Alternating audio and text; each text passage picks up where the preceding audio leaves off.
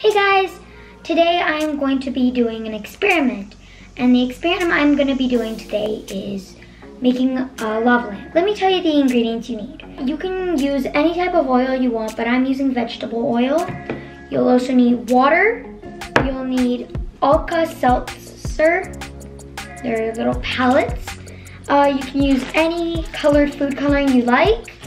I'm using red. You need a funnel. And you need a glass bottle. But if you're if you want to use something different, like a glass, then you don't have to use the funnel. Let's get started. The first thing you need to do is fill up the bottle one part water. You'll also need the oil that you are using. And notice how the water and the oil are not mixing together. So what you'll need to do after is take the funnel out. Then you'll need to put about five or 10 drops of food coloring.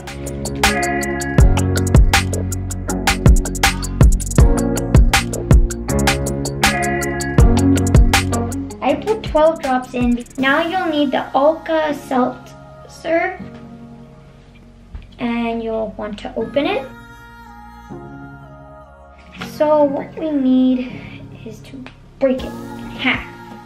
Watch what happens to the oil and the food coloring. So as you can see, the water and the oil are making a chemical reaction with the food coloring. So,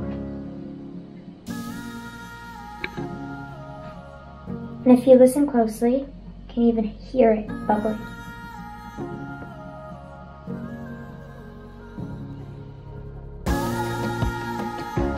And that is how you make a lava lamp. See, if you guys want to try this experiment, it is very easy, but you'll have to go buy the tablets, and if you don't have, you can use um, table salt. Bye!